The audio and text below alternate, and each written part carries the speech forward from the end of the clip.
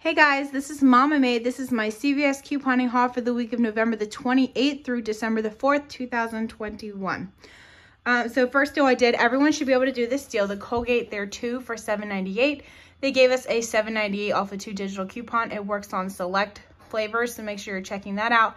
But it comes off making your total completely free.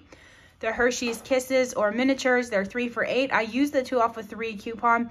Now this said it was showing up in the app or the Redbox, but it was not showing up in the app for me. So I had to actually go scan my card to get the coupon.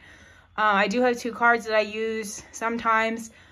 So I don't know if the deal is going to be better next week, but I went ahead and used it this week because I'm starting my Christmas cookie baking. That's the plan this week anyway. Um, but anyway, it makes them $6 or $2 a piece. We'll probably see $2 again in the next week or two, but I just went ahead and grabbed them this week at that price.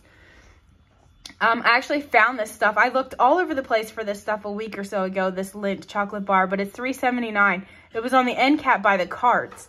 So anyway, I had a $2 off any app only coupon and then a dollar fifty off any Lindt. Those are both CVS coupons. They work together, making it only a cost of 29 cents. So that's going to be a stocking stuffer. And the last deal here I did was on the Persil.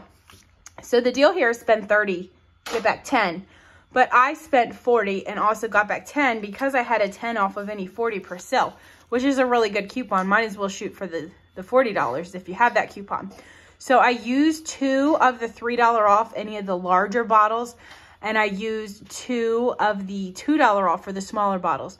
So it would be a better deal if you have an additional, if you have three of those $3 coupons, um, but I only had two inserts, so I could only use two for the large and two for the small. You could also get an additional $2 off if you want to use another one. Like I said, I didn't have anything else to work with, um, so this is just what I did. I used that 10 off of 40 CVS coupon, two of the $3 off, two of the $2 off.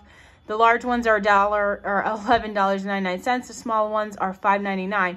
Total cost is $40.95. After all the coupons, after getting everything back, it's only a cost of $11.95 for all of this detergent. That's a good enough deal for me. I absolutely love Persil. Is my favorite.